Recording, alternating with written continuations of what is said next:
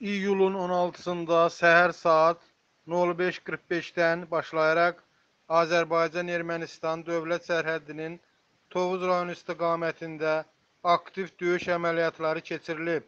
Bu barədə Müdafiə Nazirliyi məlumat yayıb.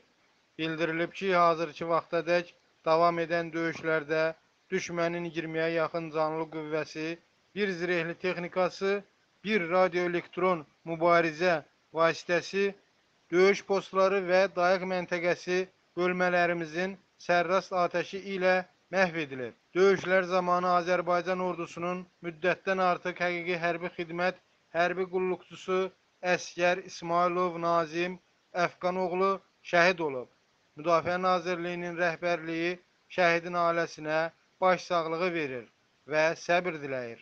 Allah rəhmət eləsin. Bölmələrimiz düşmənin döyüş aktivliyinin qarşısını almaq məqsədi ilə cavab tədbirləri görür.